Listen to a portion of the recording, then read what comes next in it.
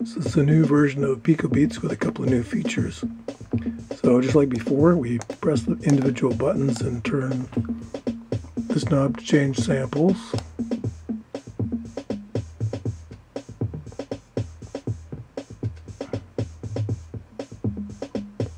We change, turn this knob to change the uh, fill patterns. So instead of just having 16 Euclidean patterns, now there's a whole bunch more patterns in there. There's about uh, 50 something drum patterns. So there's a bunch of more conventional drum patterns as well as the Euclidean ones, and they're organized by density. So fully counterclockwise is off.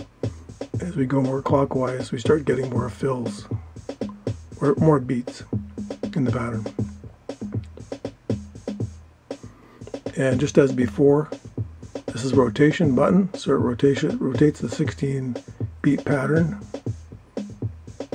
give us some variations. So we have something like a thousand drum patterns now between the uh, patterns here and the rotations here. So shift with this knob allows us to change tempo just like before. And shift with this knob allows us to change pitch. So again, the, the last track we used, we can change the pitch.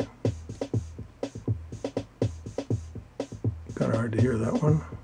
This is the volume. Let's turn the volume up.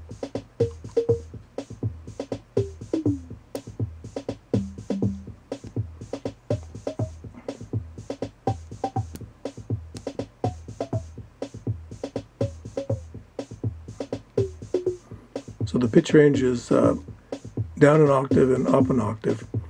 So if you put some melodic samples in and then start changing the pitch and put different pitches on different tracks and start playing around the patterns, you can actually start playing like little bass lines and melodies, which is kind of fun.